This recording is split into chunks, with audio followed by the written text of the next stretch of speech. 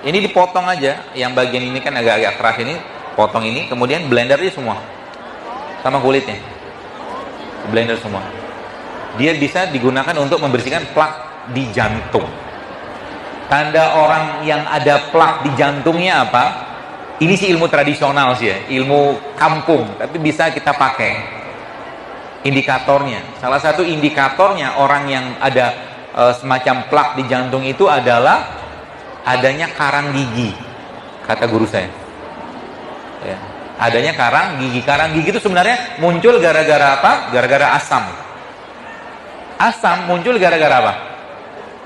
Lemak. Ya.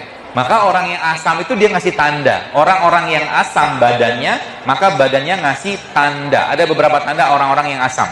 Contoh apa? BAB nya bau menyengat. Maaf BAK-nya atau urinnya juga baunya tidak